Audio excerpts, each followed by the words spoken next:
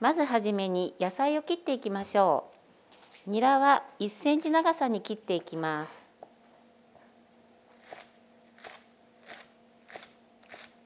続いて長ネギです。長ネギは縦半分にしてそして斜めの小口切りにしていきます。続いてえのきだけです。えのきだけは石突きを落として1センチ長さに切っていきます。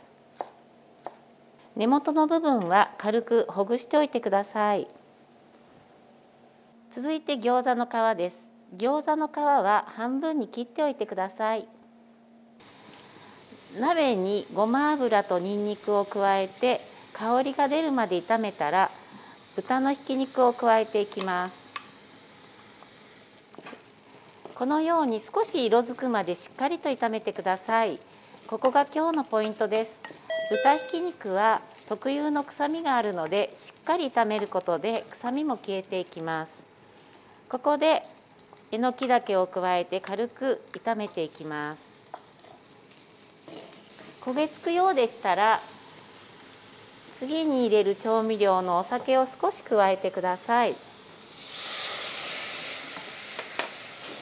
えのきだけもとてもいい味が出るのでしっかりと炒めましょう。えのきだけにもしっかり火が通ったのでここで調味料を加えていきます。まず水です。醤油。酒。